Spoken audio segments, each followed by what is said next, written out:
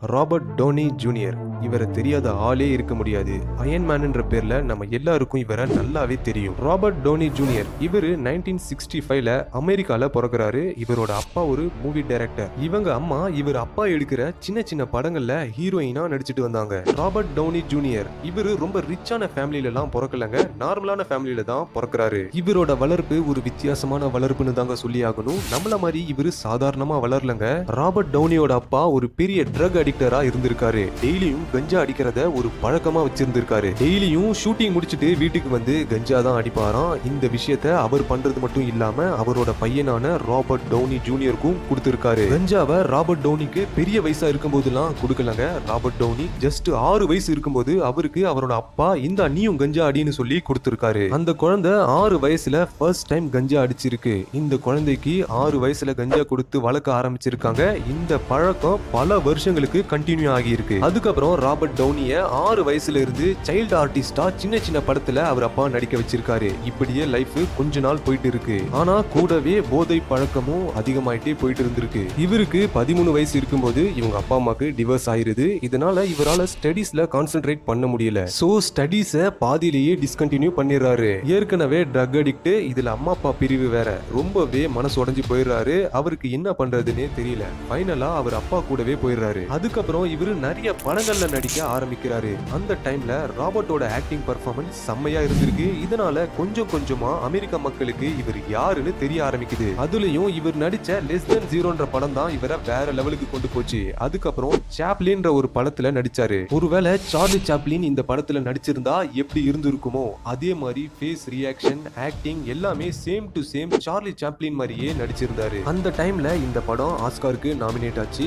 இந்த மாதிரி இவர் நடிச்ச படம் எல்லாமே பயங்கர ஹிட் மட்டுமே கொடுத்தது. இப்படியே லைஃப் சக்சஸ்ஃபுல்லா போயிட்டு இருக்கும்போது நைன்டீன் நைன்டி நைன்ல இவர் ஒரு படம் நடிச்சிட்டு இருக்கும்போது ஷூட்டிங் ஸ்பாட்லயே மயங்கி விழுறாரு. இந்த டைம்ல இருந்து தாங்க இவருக்கு லைஃப்ல கெட்டது நடக்க ஆரம்பிக்குது. இவருக்கு என்ன ஆச்சுன்னு பார்த்தா ராபர்ட் டோனி செம்ம போதையில இருந்திருக்காரு. அதுக்கப்புறம் எந்த ஒரு படம் ஷூட்டிங்கா இருந்தாலும் ரொம்ப லேட்டா தான் போவாராம். அதுவும் ட்ரக்ஸை எடுத்துட்டு தான் போவாராம். ட்ரக்ஸுக்கு ரொம்ப அடிக்ட் ஆனதுனால இவரால் எந்த ஒர்க்கையும் ப்ராப்பரா பண்ண முடியல. மக்கள் மத்தியில ராபர்ட்க்கு பெரிய கெட்ட பேர் ஏற்படுது. மீடியாவும் இவரை பத்தி தப்பு தப்பா போட ஆரம்பிச்சிட்டாங்க. அதுக்கப்புறம் எந்த ஒரு படத்திலையும் நடிக்க இவரை கூப்பிடவே இல்ல. இது எல்லாத்துக்கும் முக்கிய காரணம் என்னன்னு பாத்தீங்கன்னா மூணு பெரிய போதைப் பொருட்கள் தான். அது என்னென்னன்னா கொக்கைன் கஞ்சா அப்புறம் ஹெராயின். இந்த மூணு விஷயத்துக்கும் பயங்கரமா அடிமையாகி இவர் சம்பாதிச்ச எல்லா காசையும் ட்ரக்ஸுக்கு மட்டுமே செலவு பண்ணியிருக்காரு. ஒரு நாள் ராபர்ட்டை ஹோட்டல்ல வச்சு போலீஸ் அரெஸ்ட் பண்றாங்க. ஏன் அரெஸ்ட் பண்றாங்கன்னா இவர்கிட்ட பேன் பண்ணப்பட்ட ஹெராயினும் அப்புறம் கொக்கைனும் இருந்திருக்கு. அப்புறம் இவரை அரெஸ்ட் பண்ணி ஜெயில போடுறாங்க.